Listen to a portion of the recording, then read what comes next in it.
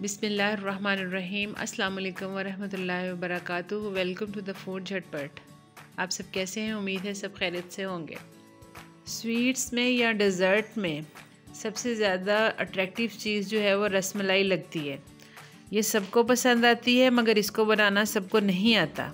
चलिए आज बनाते हैं सुपर सॉफ्ट रसमलाई, वो भी झटपट स्टाइल में। रसमलाई कई तरीक़ों से बनती है। ट्रेडिशनल तरीके से बनती है, जिसमें दूध को फाड़ते हैं, पनीर के साथ और मुख्तलिफ़ चीज़ें, ज़ाफ़रान, इलायची, एसेंस, लाख चीज़ें अरेंज करते हैं और फिर बहुत मुश्किल तरीके से बनती है।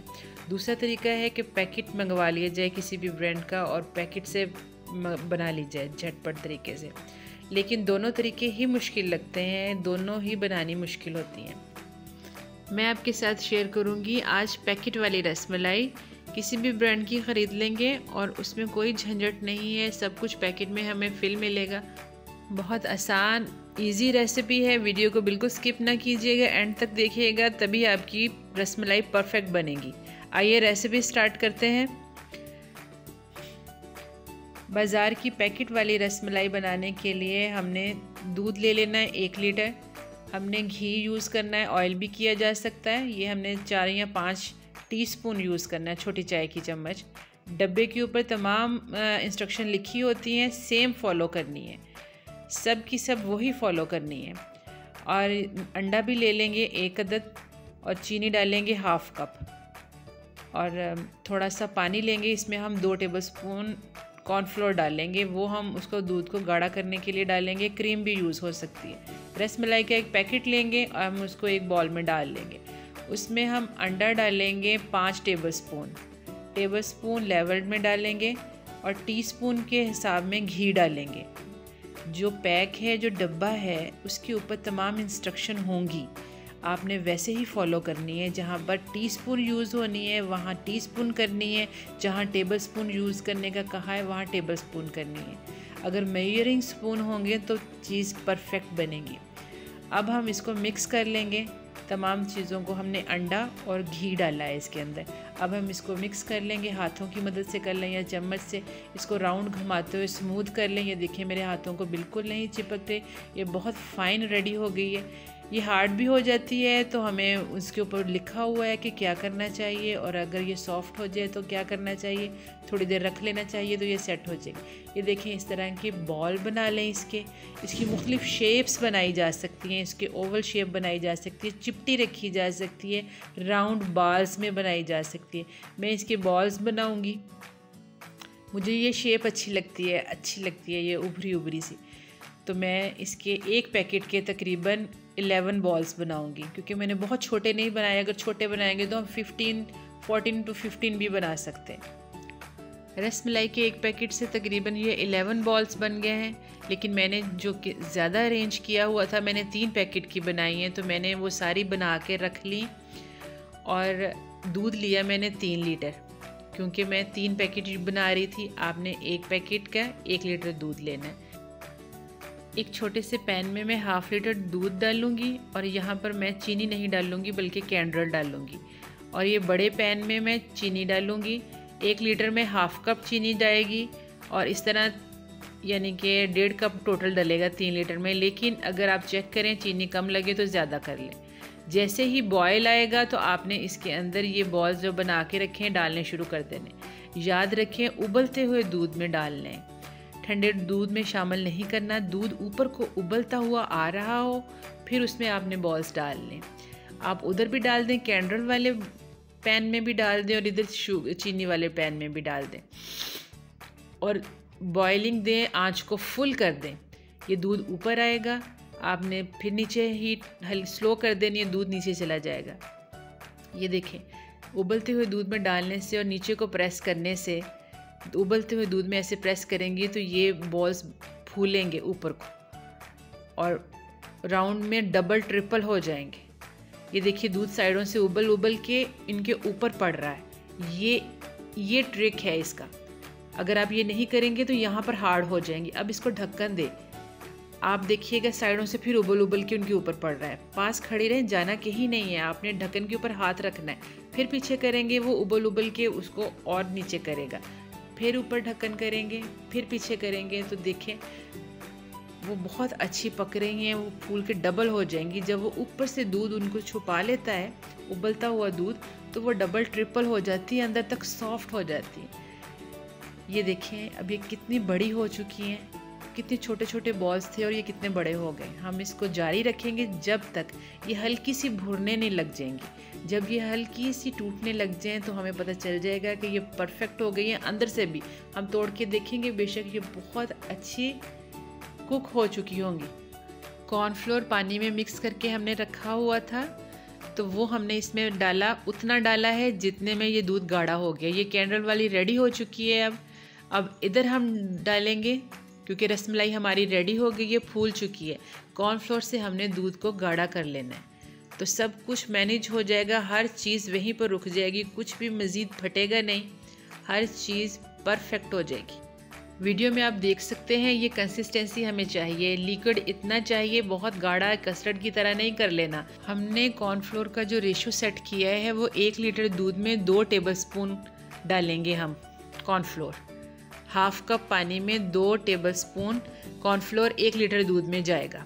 तो ये तीन लीटर दूध था तो ज़ाहरी बात है उस तरह हमारे डिवाइड हो गए। तो जो हमने डालना उतना है जितना हमें चाहिए। जहाँ जहाँ पर गाढ़ा हो जाएगा, वहाँ पर हम स्टॉप कर देंगे डालना। ये देखिए, माशाल्लाह से अब थोड़ा सा पकाएँगे, इसको कॉर्नफ्लोर पक जाए। इस मौके पर हम इसमें क्रीम भी ऐड कर सकते हैं। कोई भी मिल्क पैक क्रीम ले लें, खोया ले लें, वो ऐड करें, दूध को रिच करें। अगर आप ज़्यादा क्रीमी करना चाहते हैं। अदरवाइज़ हमने फुल फैट मिल्क लिया था, जो कि काफ़ी था।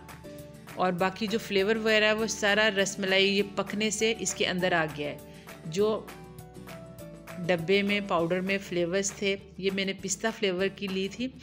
तो तीनों पैकेट मैंने पिस्ता में लिए थे। ये नहीं कि कुछ बादाम के ले लिए और कुछ पिस्ता के ले लिए। ये देखिए, अब हमने इसको सर्व करना है सर्व ऐसे नहीं करना है, इसको ठंडा करके हमेशा सर्व करते हैं। इसके वन बाय वन हमने इसको ढेल नहीं लेना एक एक बॉल निकाल के रखेंगे पहले। खुला सा बर्तन लेंगे इसका। उसके अंदर एक एक बॉल रखेंगे और फिर साथ लिक्विड रखेंगे। ये लिक्विड जैसे लग रहा है आपको, ठंडा होकर इतना मज़े का, गाढ़ा हो जाएगा जैसा हमें चाहिए, जैसा बाज़ार में होता है, बिल्कुल वैसा है, कुरट हो जाएगा।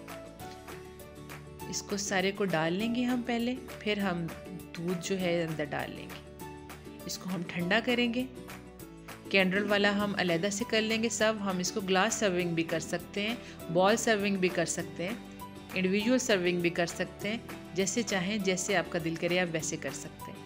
ये देखिए, हमने सारे रेडी कर लिए। अब ये दूध के अंदर बहुत अच्छे हैं सेट सब अपनी जगह पे सेट और नज़र आ रहे हैं। अब हमने इसको ठंडा करना है। ठंडा करने के बाद हम इसको डेकोरेट करेंगे पिस्ते के साथ, बादाम के साथ। कर लें।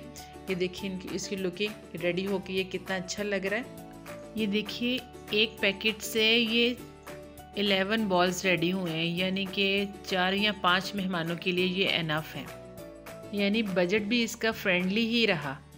आपने नोट किया कि मैंने इसके अंदर पिस्ता, बादाम इलायची एसेंस कुछ भी नहीं डाला। जस्ट चीनी डाली दूध में और बॉल्स बना के अंदर डाल दिए। क्योंकि ये सब कुछ उन्होंने पैकेट में फ्लेवर दिया हुआ है हर चीज़ का। जब आप इसको खाएँगे तो इसका टेस्ट अमेजिंग होगा इन आपको बहुत अच्छा लगेगा। खीर हमारे घरों में अक्सर बनाई जाती है और अच्छी खीर बनाने के लिए घंटों की मेहनत होती है, जो मैं रेसिपी आपके साथ शेयर करने लगी हूँ। उसमें ना तो चावलों को भुगोना है, ना ही घंटों तक दूध को काटना है। बहुत ही सिंपल इंग्रेडिएंट से बहुत मज़ेदार बनेगी। हमारी झटपट सी, मगर बहुत ही शानदार क्रीमी रबड़ी खीर। आइए रेसिपी स्टार्ट करते हैं। इस रेसिपी के लिए हमें बहुत सिंपल इंग्रेडिएंट्स चाहिए। दो तीन चीज़ें चाहिए, जैसे हमने ब्रेड के स्लाइस ले लिए, चार अदद। ये बड़े साइज़ की ब्रेड है। ये हमने चार पीसीस ले लिए। हमने मिल्क पाउडर लिया है two table spoon half cup तक लिया जा सकता है। केवड़ा एसेंस है और दो तीन बूंदे हमने डालनी है बस। और ये चीनी ले ली है, हमने हाफ़ कप लिए बाकी हम चेक करेंगे कितनी हमें चाहिए। दूध ले लेंगे, डेढ़ किलो हमने दूध लिया है, उसके अंदर दो इलायचियाँ डाल दी हैं। अगर इलायची पाउडर हो तो वो ज़्यादा बेस्ट रहता है। फिर हमने ब्रेड के किनारे रिमूव कर देने हैं और सेंटर वाले हिस्से का चूरा बना लेना है, किसी भी मिक्सर या जार में डालकर। ये पंद्रह से दस बादाम ले लें और इनको भी चॉपर में डाल के चूरा बना लें। मैंने ब्रेड के साथ ही बना लिया था लैदा से बना लें, जैसे मर्ज़ी कर लें। और करने के बाद इसको अलहदा रख लें। दूध अच्छा लेना है आपने, मैंने डेढ़ किलो दूध लिया है फुल फैट मिल्क लिया है। इसके अंदर हम two table spoon dry milk powder डालेंगे हाफ़ कप तक डाला जा सकता है। ये इसको क्रीमी करेगा। इसको हम हिला लेंगे अच्छी तरह मिक्स कर लेंगे और दूध को पकने देंगे। ज़्यादा चम्मच चलाने की ज़रूरत नहीं है। दूध में बहुत अच्छा बॉयल आ रहा है। अब हम इस मौके पर इसके अंदर ये चूरा डाल देंगे। ये बादाम का और चार ब्रेड का है। मैंने ब्रेड वाइट यूज़ की है और जो फ्लेम है चूल्हे की, उसको हमने मीडियम टू हाई रखना है। हमें स्लो करने की ज़रूरत नहीं है। अब हम इसको गाढ़ा होने देंगे। इसकी अच्छी तरह पकेगा और गाढ़ा होगा। पाँच से दस मिनट तक ये ऐसे पकेगा। ये गाढ़ा होना शुरू हो जाएगा। जब ये गाढ़ा होने लगे तो फिर आपने इसके अंदर चीनी शामिल करनी है। शुगर हम फोर टेबल स्पून तक डालेंगे पहले। फिर हम चेक करेंगे, अगर ज़रूरत हुई तो और डालेंगे, क्योंकि जो हमने ड्राई मिल्क पाउडर डाला वो भी मीठा होता है। तो ज़्यादा भी शुगर इसका टेस्ट ना ख़राब कर दे। ध्यान से डालेंगे। अब मैं यहाँ पर आपको एक छोटी सी टिप देने लगी हूँ, जो कि सीक्रेट टिप है। हमने एक पैन लेना है, उसके अंदर टू टेबलस्पून चीनी डालनी है और फ्लेम इसकी बहुत लो रखनी है। यहाँ पर हम कैरेमल बनाएँगे। जैसे ही चीनी मेल्ट होने लगेगी, हमने इसकी आग बंद कर देनी है और इसको तेज़ी से मिक्स करना है। अब इस टाइम हमने आग बंद कर दी है। जैसे ही चीनी मेल्ट होने लगी थी, हमने आग बंद कर दी है और हम इसको अच्छी तरह से मिक्स करेंगे तेज़ी से। ये कैरेमल सा रेडी हो गया है। तो इसका कलर ज़्यादा डार्क नहीं होना चाहिए। अगर हो जाए तो फिर उसे दूध में ना डालिएगा। हमारा कलर बिल्कुल परफेक्ट आया है। अब हम इसको इसके अंदर डाल देंगे। इससे ये इफ़ेक्ट पड़ेगा कि हमारी खीर बहुत कड़ी हुई है और इसका एक बहुत यूनिक सा टेस्ट इसके अंदर डेवलप हो जाएगा। आप जब इसको एक्सपीरियंस करेंगे, बनाएँगे, तब आपको मेरी बात पे यकीन आएगा कि मैं क्या कहना चाह रही हूँ।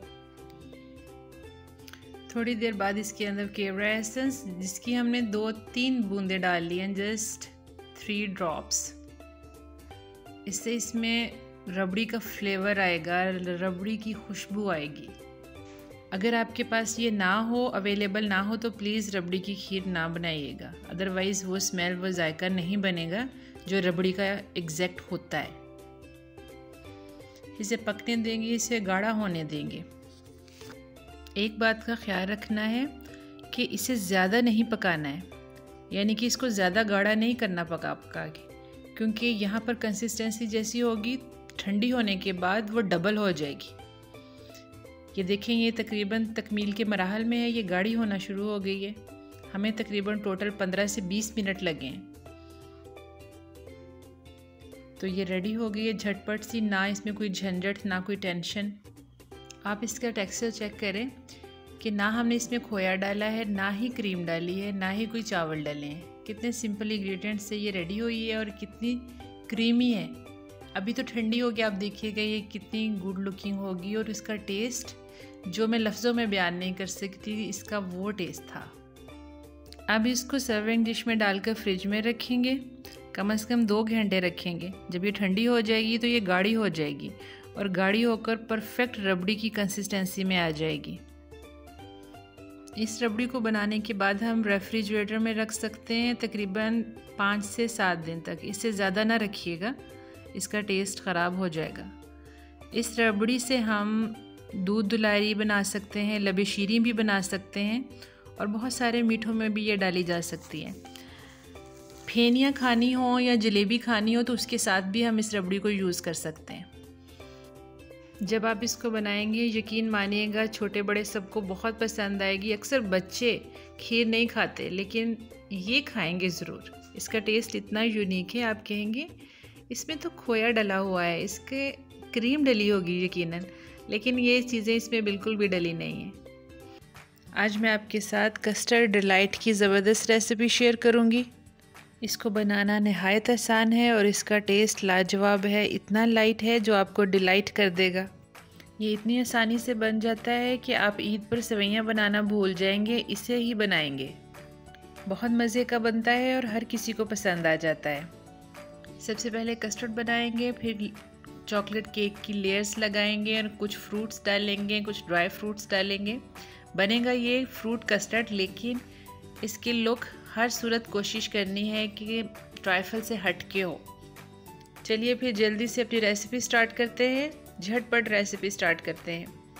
डेढ़ लीटर दूध लिया है और उसको पकने के लिए रख दिया है। जैसे ही इसमें बॉयल आ जाएगा, फिर हम इसमें चीनी शामिल करेंगे आधा कप।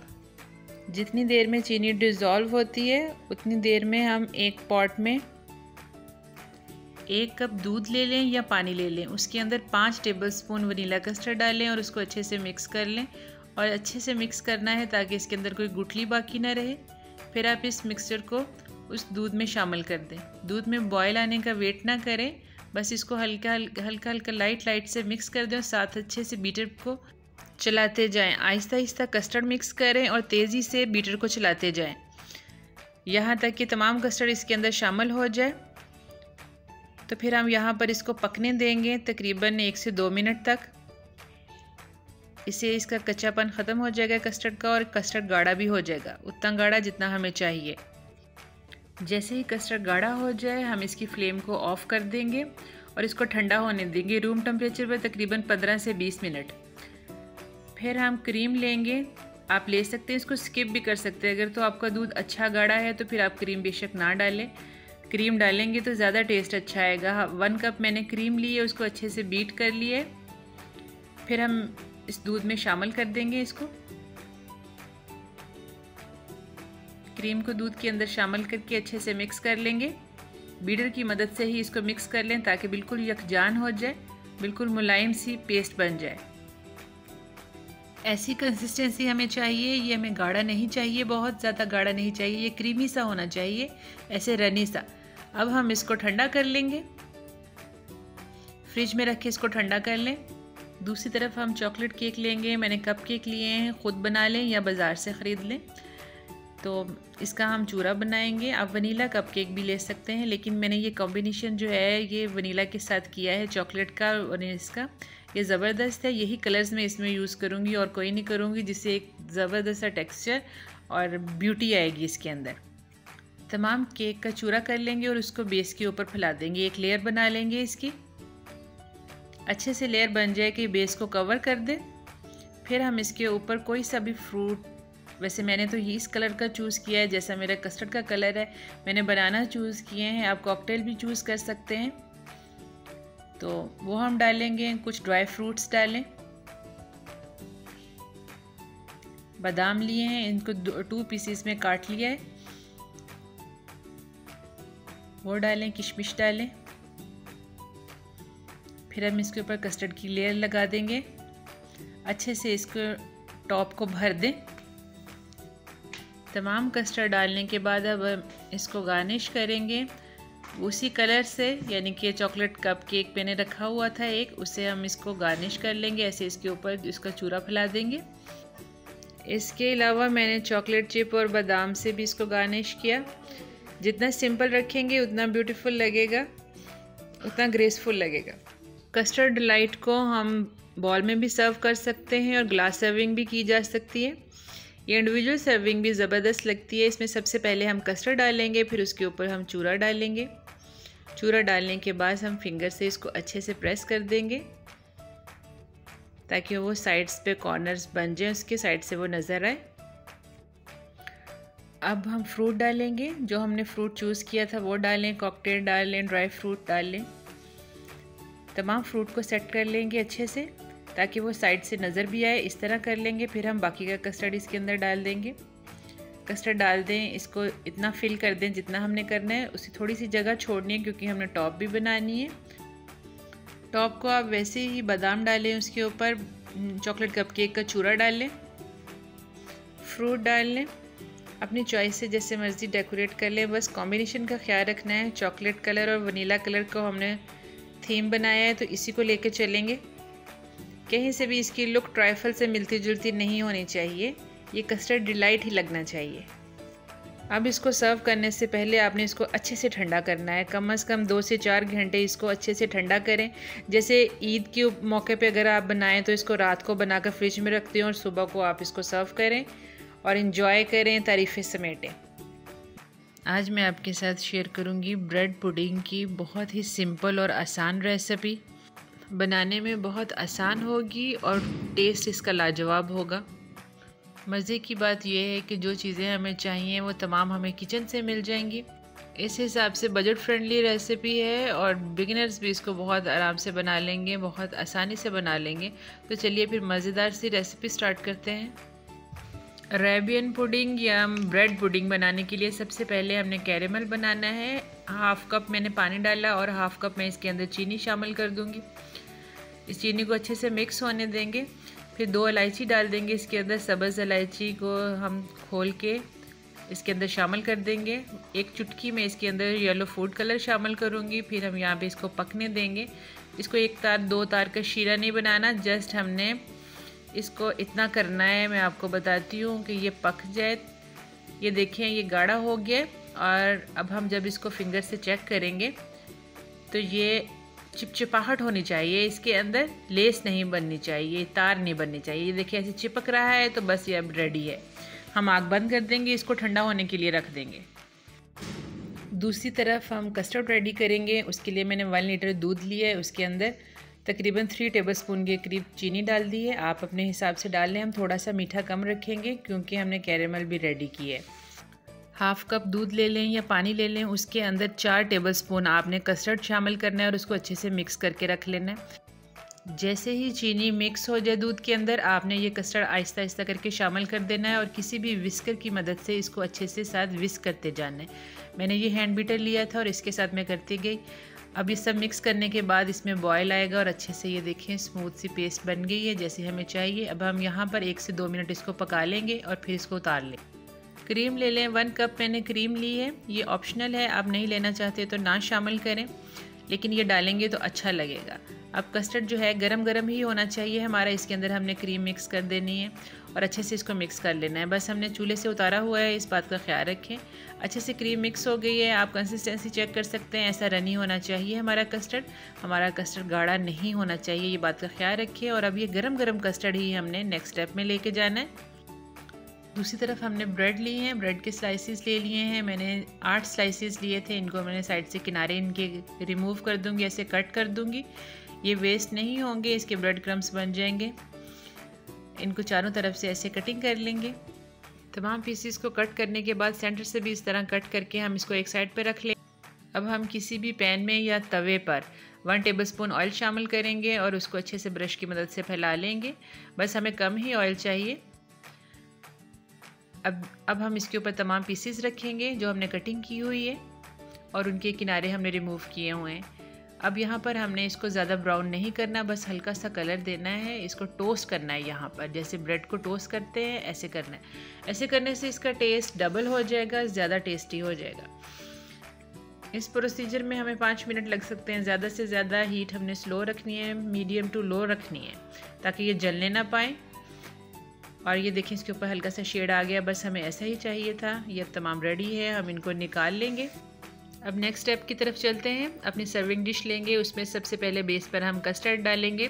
कस्टर्ड हमारा नीम गर्म होना चाहिए। इस बात को जहन में रखें नीम गर्म से ज़्यादा ही गर्म होना चाहिए, क्योंकि हमें, हमने इसके अंदर ब्रेड की लेयर लगानी है। तो फिर जब कस्टर्ड ऊपर डालेंगे तो वो अच्छे से ब्रेड को एब्जॉर्ब कर ले और ब्रेड सॉफ्ट हो जाए तो एक नया ही टेस्ट बन जाएगा। ब्रेड के अंदर अच्छा सा कस्टर्ड एब्जॉर्ब होने के बाद एक नई चीज़ बन जाएगी, नया टेस्ट बन जाएगा। अब यहाँ पर हम जिस ब्रेड को हमने टोस्ट करके रखा था, वो हम लगा देंगे। इसके ऊपर अच्छे से लगा देंगे कि ये सारा कस्टर्ड हमारा छुप जाए, ऊपर अच्छे से ब्रेड की लेयर बन जाए। जहाँ पर जगह बाकी बची है, वहाँ से हम ऐसे काट कर, हाथ से काट कर या किसी नाइफ़ से काट के, वो भी प्लेस कर देंगे। कुछ भी बाकी ना बचे जगह, तमाम में हमने ब्रेड को तोड़ तोड़ के लगा देना है। ताकि एक लगे केक सी लेयर बन जाए, जैसे हमने केक रखा हुआ है यहाँ पर। इस मकसद के लिए हम फ्रूट केक भी यूज़ कर सकते हैं, लेकिन चूँकि फ्रूट केक महँगा है तो हमने ब्रेड ही चूज़ किया है। यकीन करें, ब्रेड का टेस्ट नहीं आएगा, एक ज़बरदस्त सा रस मलाई का टेस्ट आएगा। आप इसको बना के देखिएगा, एक डिफरेंट रेसिपी है, अच्छी लगेगी। तमाम ब्रेड लगाने के बाद हम कस्टर्ड की दूसरी लेयर लगाएँगे और अच्छे से इसको फैला लेंगे। कस्टर्ड हमारा नीम गर्म होना चाहिए, इस बात का ख़ास ख्याल रखना है, ये ठंडा नहीं होना चाहिए। अब इसको अच्छे से इसके ऊपर प्लेस कर देंगे इवन कर लेंगे इक्वल कर लेंगे। कस्टर्ड की सेकंड लेयर लगाने के बाद हम इसके ऊपर ब्रेड की सेकंड लेयर लगाएँगे। तमाम पीसीस को ऐसे लगा देंगे, जो स्पेस बाकी बचेगी, वहाँ पर हम तोड़ कर या काट कर मज़ीद लगा देंगे, यानी कि हर चीज़ को कवर कर लेंगे, ताकि एक स्मूथ सरफेस बन जाए। कहीं से भी ऊँची नीची जगह ना हो। अब जो हमने कैरेमल बना के रखा है, उसको हम ऐसे ब्रेड के ऊपर डाल देंगे, कहीं कहीं डाल देंगे। इसका टेस्ट बहुत डिफरेंट होता है। अरेबियन डिशेस में ये यूज़ होता है कैरेमल। अब कुछ नट्स लेंगे, बादाम, पिस्ता, अखरोट, कुछ भी आपके पास है, वो आप इसके ऊपर से स्प्रिंकल कर दें। कुछ हम ड्रेसिंग के लिए एंड के लिए रख लेंगे। कुछ इस यहाँ पर लेयर में लगा देंगे। एंड में अब फिर कस्टर्ड की लेयर लगाएँगे, इसको अच्छे से लगा देंगे। बल्कि तमाम कस्टर्ड हम बकिया का इसके ऊपर डाल देंगे। तमाम कस्टर्ड अच्छी तरह लगाने के बाद हम इसके ऊपर नट्स से और ये कैरेमल से डेकोरेशन कर देंगे। जो भी हमने इसको डिज़ाइन देना है या जो भी करना है। तकरीबन दो से तीन घंटे तक फ्रिज में अच्छा ठंडा होना चाहिए। फिर हमने इसको इस्तेमाल करना है। फिर इस कट से ही टेस्ट आएगा। तमाम कस्टर्ड सेट होने के बाद हमने फ्रिज में रख देना है। फ्रिज से ये दो तीन घंटे बाद जब हमारे पास आया तो ये इसके ऊपर हम मज़ीद गार्निश कर लेंगे जो हम लगाना चाहें। बिस्किट का चूरा, फ्रेश क्रीम यूज़ कर, कॉकटेल यूज़ करें, जेली यूज़ करें, नट्स यूज़ करें, जैसे मर्ज़ी आप इसको डेकोरेट कर सकते हैं। क्रीम जो मैंने केक के अंदर मिक्स की थी, आप उसको लेयर्स में भी शामिल कर सकते हैं, वैसे भी अच्छा लगता है। लीजिए, फाइनल लुक चेक करें। माशाल्लाह से बहुत ज़बरदस्त ईद के लिए हमारा मीठा रेडी हो चुका है। आप यकीन करें, आपको फील नहीं होगा कि इसमें ब्रेड डाली है। ब्रेड के अंदर कस्टर्ड बहुत अच्छे से एब्जॉर्ब हो चुका होगा, जिससे इसके अंदर केक की फ़ील आएगी। केक जो कि आजकल बहुत महँगे मिलते हैं, इसलिए ब्रेड अच्छा ऑप्शन है। इस हिसाब से हमारी रेसिपी बजट फ्रेंडली भी है।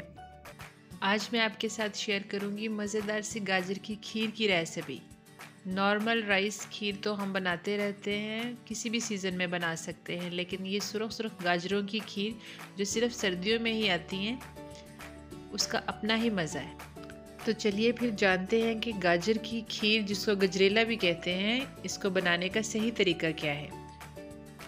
टेस्टी गाजर की खीर बनाने के लिए जो अज्जा हमें दरकार है, उनकी मकदार का ख्याल रखना ख़ास ज़रूरी है, फिर ही हमारी गाजर की खीर टेस्टी बनेगी।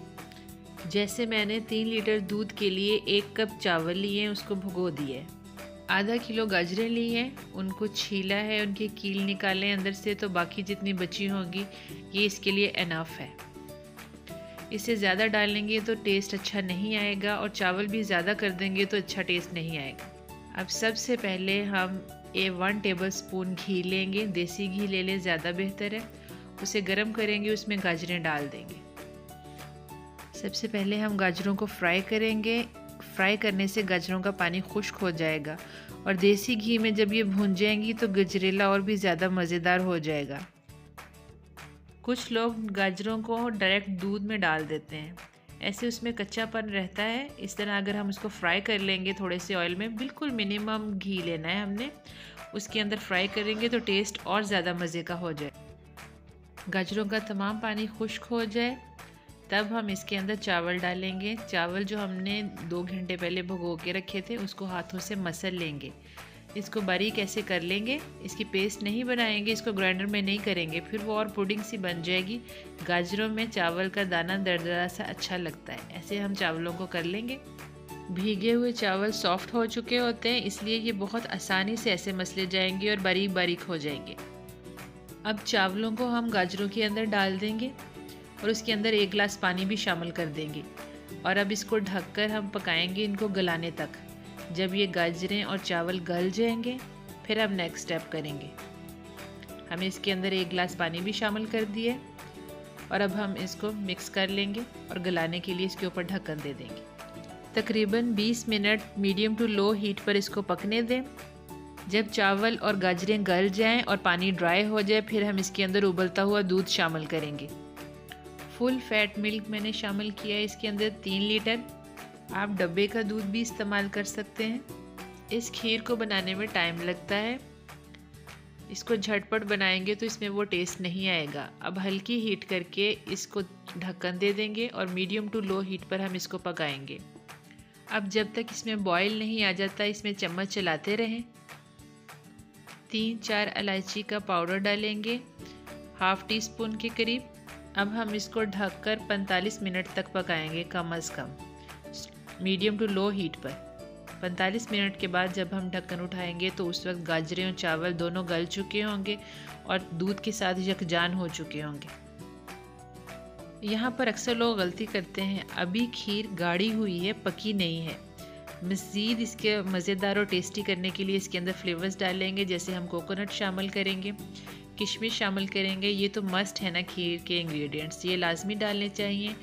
और मज़ीद इसको क्रीमी करने के लिए आप इसमें खोया शामिल कर सकते हैं। मैंने खोया डाला है वन कप क्रीम भी शामिल की जा सकती है, खुश्क दूध भी शामिल किया जा सकता है कंडेंस मिल्क भी शामिल किया जा सकता है। जो भी डालना चाहें आप इसके अंदर इसको ज़्यादा क्रीमी बनाने के लिए डाल सकते हैं। केवरा एसेंस भी डालेंगे वन ड्रॉप ऑनली इसका टेस्ट बहुत तेज़ होता है, बस एक ड्रॉप डालना है, ये ऑप्शनल है। अब इसमें चीनी शामिल करेंगे 250 ग्राम चीनी, यानी कि मैंने एक पाव चीनी इसके अंदर इस्तेमाल की है। आप अपने टेस्ट के हिसाब से कम या ज़्यादा चीनी डाल सकते हैं। चीनी डालने के बाद ये चीनी पानी छोड़ेगी। आपने इसको मज़ीद पाँच मिनट तक पका लेना है ताकि वो पानी ड्राई हो जाए और ये और मज़ीद गाढ़ी हो जाए। जब बबल बनना शुरू हो जाएँगे और आप पर छींटे पड़ना शुरू हो जाएँगे, तब आप समझ जाएँगे खीर तैयार है। लीजिए ज़बरदस्त शानदार सी गाजरों की खीर रेडी है। इसको सर्व करेंगे। इसको हम दो घंटे कम अज़ कम ठंडा करने के बाद खाएँगे। गरम गरम भी इसको खाया जा सकता है। सर्दियों में तो ख़ास तौर पे गरम गरम का भी बहुत मज़ा आता है। ठंडी होकर ये ज़्यादा क्रीमी और गाढ़ी हो जाती है। देखने में ये जितनी टेम्पटिंग लग रही है, खाने में उससे भी ज़्यादा मज़ेदार है। मीठे के बगैर ज़िंदगी नामुकम्मल है, इसे खाने से सुकून और खुशी मिलती है। दिसंबर जनवरी में शादी हो या जून जुलाई में, शादियों में मीठे में top of the list fruit trifle ही होता है। आज मैं आपके साथ शेयर करूँगी शादियों में बनने वाले फ्रूट राइफल की ऐसी रेसिपी ऐसी परफेक्ट रेसिपी जिसे जानने के बाद ये आपकी मुस्तकिल रेसिपी बन जाएगी। सबसे पहले अगर चैनल को सब्सक्राइब नहीं किया तो कर लें और बेल आइकन को भी प्रेस कर दें। चलिए रेसिपी स्टार्ट करते हैं। एक पैन में दूध लेंगे दो किलो, दो के जी लेंगे और उसके अंदर चीनी डालेंगे एक कप। चीनी हम बाद में चेक करके और भी डाल सकते हैं अपने टेस्ट के हिसाब से। इसको हमने बॉयल नहीं आने देना, ये पहले से उबाल के फ्रिज का रखा हुआ दूध था। अब इसमें बॉयल नहीं आने देना, उससे पहले ही हमने इसके अंदर कस्टर्ड मिक्स करना है। आपने बात ध्यान से और गौर से सुननी है कि जो भी प्रॉब्लम कस्टर्ड को बनाने की होते हैं, आज सारे सॉल्व होने वाले हैं। कस्टर्ड के लिए दो लीटर दूध लें। इसमें से आधा कप दूध में एक कप यानी कि आठ टेबलस्पून या hundred gram vanilla custard powder डालें। ये मेज़रमेंट है इस कस्टर्ड की। अलहदा कप में उस कस्टर्ड को मिक्स कर लें ताकि गुठली ना रहे। अब जो दूध आग पे चढ़ा हुआ है, उसके अंदर हम सिर्फ़ दो ड्रॉप्स केवड़ा एसेंस डालेंगे, अभी इसको बॉयल नहीं आने देंगे। तो वो मिक्सचर जो हमने पाउडर का मिक्स किया हुआ उसके अंदर आहिस्ता आहिस्ता डालेंगे। ये देखें, अभी हमने बॉयल नहीं आने दिया दूध में। साथ साथ हम चम्मच चलाए जाएँगे और आहिस्ता आहिस्ता हम इसके अंदर वह मिक्सचर डाले जाएँगे। एकदम से नहीं डालेंगे, वरना गुठलियाँ बन जाएँगी। अब ये चम्मच हमने उस वक्त तक हिलाना है, जब तक कि गाढ़ा ना हो जाए और इसमें बॉयल ना आ जाए। अदरवाइज़ इसमें लम्स बन जाएँगे। और ये परफेक्ट रेशो है। दो किलो दूध हो और एक कप उसके अंदर वनीला कस्टर्ड पाउडर डालना है। ये देखिए, अब बॉयल आ गया और कंसिस्टेंसी चेक करें। कितना अच्छा गाढ़ा हमें ऐसा ही चाहिए। ऐसी कंसिस्टेंसी चाहिए जो चम्मच पर कोट हो रही है, लेकिन रनिंग भी है। इसको बहुत गाढ़ा नहीं कर लेना। अब हमने आग बंद करके उतार लेना है। किसी पैन में हमने पानी डालना है। तो उसके अंदर ये रख लेना है। रूम टेम्परेचर पर इसको ठंडा होने देना है। थोड़े थोड़े वक्फे के बाद हमने इसमें चम्मच चलाते रहना है, ताकि इसके ऊपर लेयर ना बने। वो एक जो स्किन ना इसके ऊपर जमने पाए, जो बलाई सी इसके ऊपर जम जाती है। क्योंकि अभी हमने इसमें बलाई ऐड करनी है और चीज़ें ऐड करनी है, इसलिए इसके अंदर चम्मच हिलाते जाएँ। दूसरी तरफ़ हम रेड कलर की जेली रेडी कर लेंगे। हमने पानी को सिंपली गर्म किया, पैकेट के ऊपर इंस्ट्रक्शन के हिसाब से पानी नहीं डालना, उससे कम पानी डालना है। फिर आपकी जेली अच्छी जमेगी, क्रिस्टल टाइप। हार्ड जमेगी। आपने पानी को गर्म किया, अंदर पैकेट डाला और आग बंद कर देना है, उसको अच्छी तरह मिक्स कर लेना है। और ये देखिए, इसको किसी बर्तन में डालें। पहले रूम टेम्परेचर पर ठंडा करें, फिर इसको फ्रिज में ठंडा कर दें। जेली बहुत अट्रैक्टिव लगती है ट्राइफल में, और कह सकते हैं ये ट्राइफल की जान होती है ग्रीन कलर का कलर भी अच्छा लगता है जेली में। ये देखें कस्टर्ड हमारा ठंडा हो गया है रूम टेम्परेचर पर। अब हम इसमें क्रीम डालेंगे। क्रीम हमने एक कप लिया है, यानी कि 250 ग्राम लिए उसको बीट कर लिया है। ये मेरी विपिंग क्रीम थी। इसमें चीनी ऑलरेडी मिली होती है, मीठे, ये मीठी थी ऑलरेडी तो इसके अंदर मिक्स कर दिया और इसको अच्छी तरह बीट कर लिया। हैंड बीटर से। अच्छी तरह यकजान कर लेना, मुलायम हो जाइए।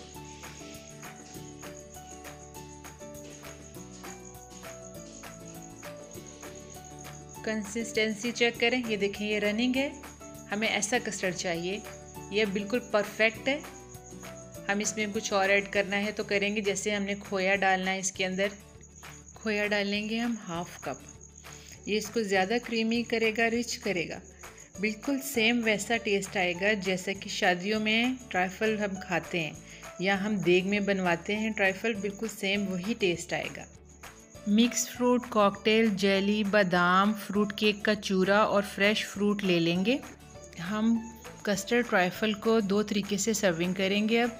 एक तो हम इंडिविजुअल सर्विंग करेंगे, दूसरा हम बाउल में सर्विंग करेंगे। इंडिविजुअल सर्विंग के लिए हम सबसे पहले नीचे जेली डालेंगे, उसके ऊपर फ्रूट रखेंगे। ग्लासेस में हमने इंडिविजुअल सर्विंग करनी है, जो कि बहुत अच्छी लगती है, बहुत अच्छी दिखती है। अब इसके ऊपर हम कस्टर्ड डाल देंगे।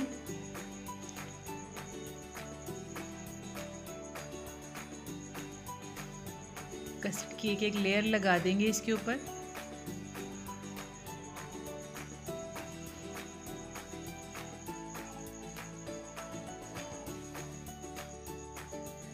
अब इसके ऊपर हम फ्रूट केक का चूरा रखेंगे, जो कि हमने हाथों से मसल के इसको बारीक कर लिया था। अब हम ये डाल देंगे। तमाम कप्स के ऊपर।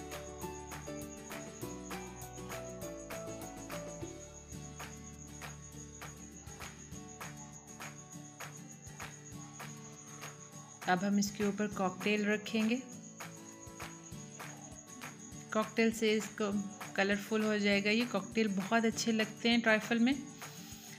कॉकटेल के बगैर भी बनाया जा सकता है। आप इसको स्किप भी कर सकते हैं। फ्रेश फ्रूट डालें। फ्रेश फ्रूट में अंगूर, सेब, केले, अनार, ये तमाम चीज़ें बहुत कलरफुल कर देंगी और जेली इतना भी काफ़ी है, अगर कॉकटेल ना डालना चाहें आप। लेकिन शादियों वाले कस्टर्ड में डला होता है। इसलिए हमने तमाम लवाजमात वही मंगवाए हैं जो उन कस्टर्ड में होते हैं, जो ट्राइफल में होते हैं। ये देखिए कितने अच्छे कलरफुल लग रहे हैं। सेंटर में हम फिर फ्रेश फ्रूट डाल देंगे।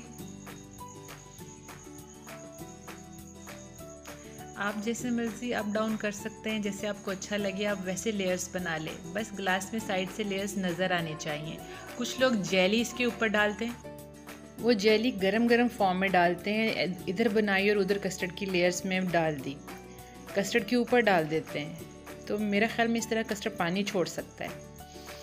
ये ख़तरनाक सी बात है, लेकिन ग्लास में सर्विंग करते हैं और अच्छी भी लगती है, कभी ट्राई करेंगे। अब इसके ऊपर कस्टर्ड डाल लें। कस्टर्ड की लेयर डाल दें। अब इसके ऊपर फिर तमाम चीज़ें हम रख दें। जो जो हमने अंदर डाली हैं, उसका ऊपर टच दे दें। यानी जेली रख दें कॉकटेल रख दें और फ्रूट रख दें।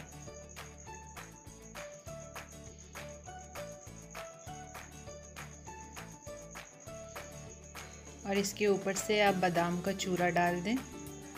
बादाम को बारीक बारीक काट के डाल दें और बिस्किट का चूरा बना के रखा था, वो भी इसके ऊपर हम डाल देंगे एड में।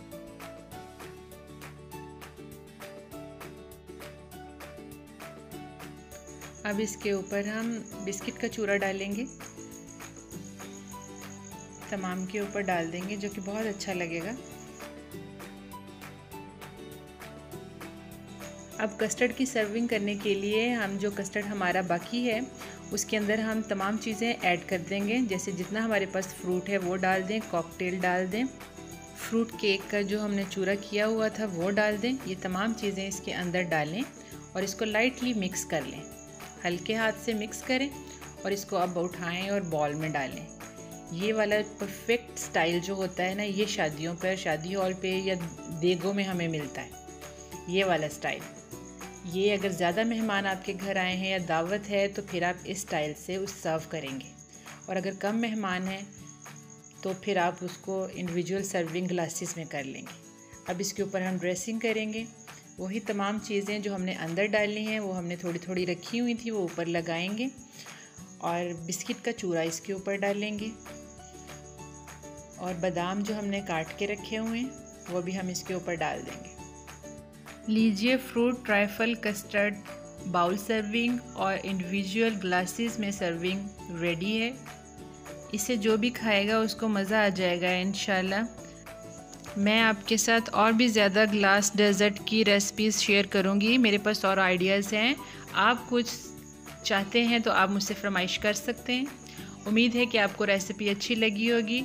रेसिपी को एज़ इट इज़ फॉलो कीजिएगा और ज़रूर बनाइएगा। और फिर मुझे फ़ीडबैक दीजिएगा कि आपकी रेसिपी कैसी बनी। दुआ में याद रखिएगा, अपना बहुत सारा ख्याल रखिएगा। फिर मिलेंगे नेक्स्ट झटपट रेसिपी के साथ। इजाज़त दीजिए। Allah Hafiz. Thanks for watching.